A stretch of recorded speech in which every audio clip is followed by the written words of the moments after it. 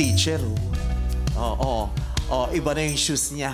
Mas confident na siya ngayon. pa. Oh, pinapakita niya talaga. Oh, oh. Backless pa. Pakita Oo. mo yung likod mo. Pakita mo.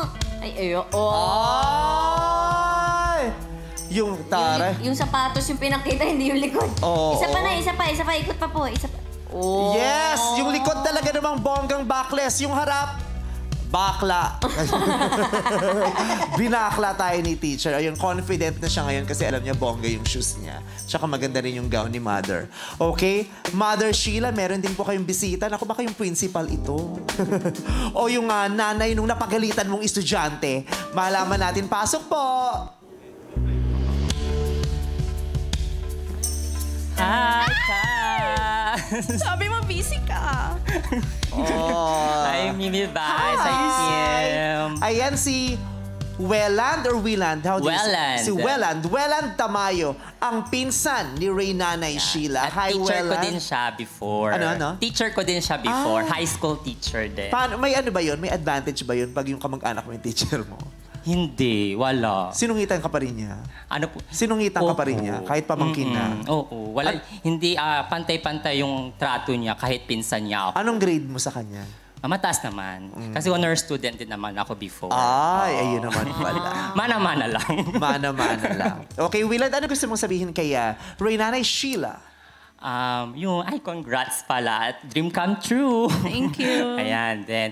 Um, ah, ang gusto kong kata- ah, tanong na dati pa, actually dati pa ito eh, curious lang ako. Okay, so ah, alam alam mo alam naman natin na galing tayong dalawa sa broken family.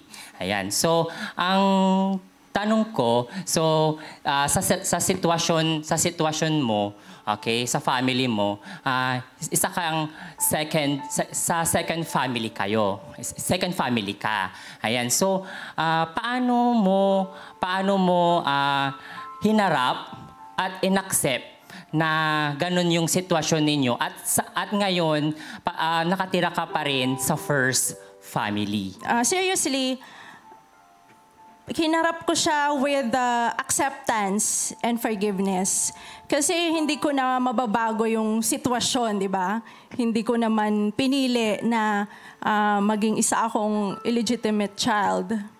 Pero um, yung sa side ni daddy, ano kasi eh, tinanggap nila ako. Ano, sa, sa inyong magpipinsan sa atin, di ba? Kahit na anak ako sa labas, pinapasok niyo ako.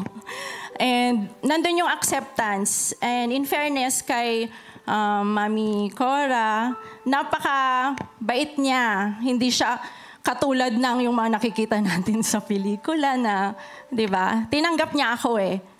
Nandun yung um, may pagtanggap. Kaya hindi ko naramdaman na other, ano ako, na illegitimate family. So nakita mo naman, nakatira pa, na, tumira ako doon sa kanila. At saka ang maganda doon kasi, hindi ako nawalan eh. Imagine nadagdagan ako. Meron akong dalawang nanay. So nung nanganak pa nga ako, imagine dalawa sila na nakasuporta. Yun yung maganda doon. So parang wala lang siya kasi um, tayo no, iba, halos pare-parehos yung mga circumstances na kinakaharap natin. Ang difference lang ay yung reaction natin. Yung iba kasi parang hindi matanggap na uh, part of uh, or result ng broken family, mag emote sisirain yung sarili.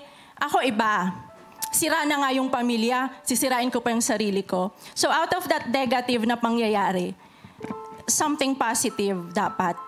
Binuo ko yung sarili ko, nagsumikap ako mag-aral, makataas ng pag-aral. At ah, yun, ginalingan ko sa ah, maraming bagay. So very positive ako sa lahat ng bagay. Hindi na natin mababago yung mga negativity na yan. So sa isang bagay lang tayo dapat maging negative. Yan ay sa COVID-19. Inay! Thank you!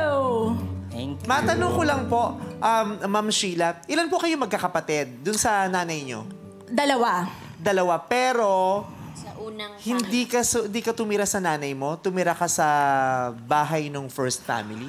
Ah, o yung nanay mo kasama mong nakatira sa bahay ng first family? Depende sa schedule. Pinag-aagawan nila ako kasi I'm so lovable. I'm so lovable child. So yung nanay mo at saka yung tatay mo, hindi rin nagsama. Ah, hindi na. Hindi na. Ah, yung tatay na. mo, kahit na nakabuo siya ng mga anak sa nanay mo, kapiling niya pa rin yung, yung first family. Yes. Ah, so tapos nung nabuo ka, tumira, tumira ka sa kanila. Hanggang ngayon. Paminsan-minsan.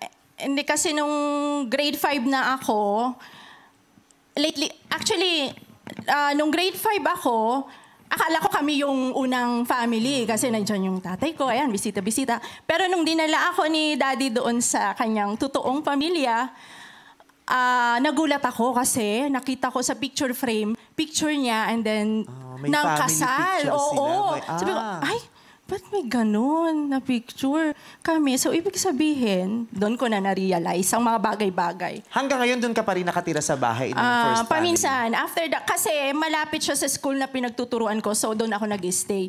Pero nung etong pandemic na nga, bumalik ako doon sa ah, totoo kong nanay. Kasama, namin yung fa- ngayon. Kasama yung sarili mo ng pamilya. Sarili ko ng pamilya at aking mga ano, anak.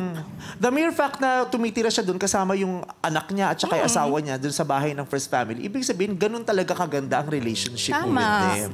Kasi hindi lang ikaw ang tinanggap, yung buong pamilya mo, Buong yung naging pamilya. anak mo pa, naging asawa mo.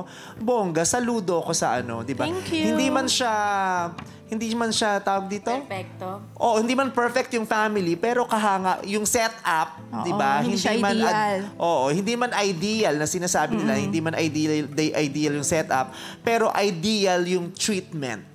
'Di ba? Yung kagandahan ng pakikitungong pinapakita mo sa, sa nila sa iyo at ikaw sa kanila, yun yung ideal. Kaya maganda. Thank you. Maraming salamat sa pagdalaw, Mawiland, at Thank sa story ni you. Reynani number 2, Sheila Gabiola. Liliwanag na ang entablado para sa pinakamagagandang babae sa balat ng lupa. Ang ating mga ulirang ina ay sasalang na sa ating palasyo. Ito ang Reyna ng Tahanan!